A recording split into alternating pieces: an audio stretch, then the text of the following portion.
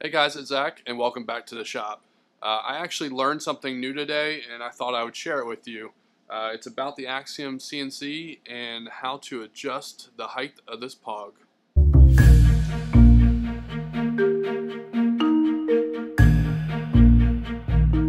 Okay, so you actually have had this machine probably for a little bit now, or if you just open it, you see these little pods, um, and what they're used for is to, or a touch off, or if you want to call it that, it will touch off the bit so the machine knows how far to drop the, the bit down to cut into your material.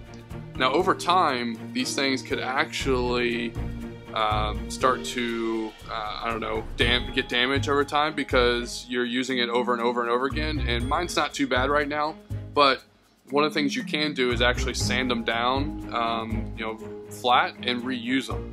So if you do do that, you actually have to adjust it in the machine to know how thick this this uh, puck still is. And with a caliper, you can do that. So I'm going to show you how to do that right now. Okay, so yeah, like in my my case, this is you know barely used, but I kind of want to walk you through the process if you were to sand this down. Now you're going to need a set of calipers or something that is highly accurate that you can um, set to millimeters. So what I'm going to do here is I'm just going to get the size of this guy, which is exactly 25 millimeters. Alright, so now you're going, you're going to be able to set this in the controller. Go into the menu, go into machine setup, and you scroll down to CAD thickness, C-A-D thickness, which is this guy here, and hit return. You'll see right now mine's actually set for 25.4 millimeters.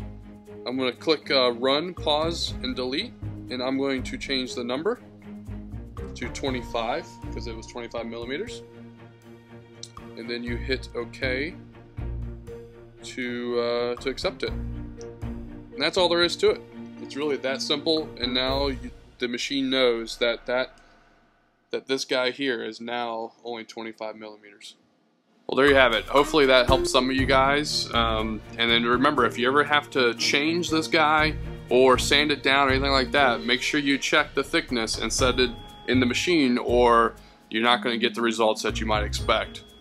Uh, other than that, guys, thanks for watching. And if a tips like this help you, leave a comment down below and I will try to add more tips about this machine. Thanks for watching, I will see you next time.